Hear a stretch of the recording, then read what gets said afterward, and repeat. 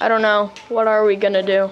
Because it has to, it has to do with time. Isabella, you're It doesn't have to do with time. What? the, the movie trailer. No, What oh. has oh, to do with time? No, it doesn't. Just the idea is time, but we should base it on time. Oh, because time travel is cool. We need to get started. Wait, we have to do it. Wait, the movie has to be over time? no, wait, give me a word. Just go right there. Back then it's gonna be over.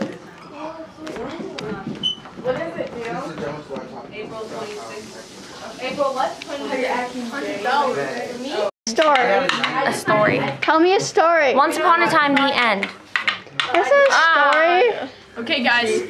So, are we are we going with the one about the the, the pedophilic time traveler? Yes. Oh, cool. Except he's not the pedophile No, because he's not, because like it's not his fault, and like the other kid has a crush on her, so it's emotional drama. you know, um, in Aladdin. Have you seen Aladdin?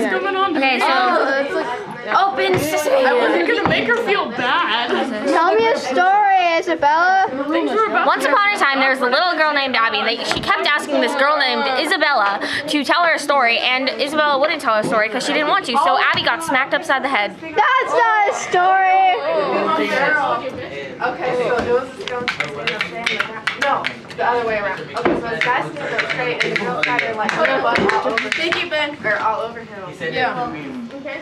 And so, and she goes, What? Why am I so fat? Good question.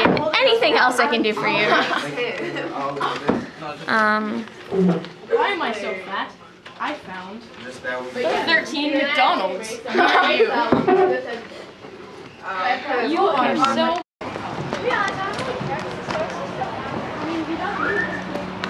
Okay.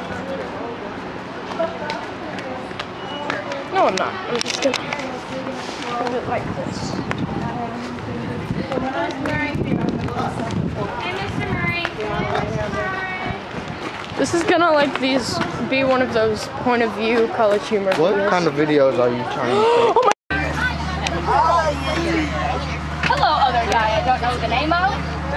Oh my gosh! Um, I, I don't know. I'm a fourth grader. It's uh, pretty cool. Hello, Aiden. No.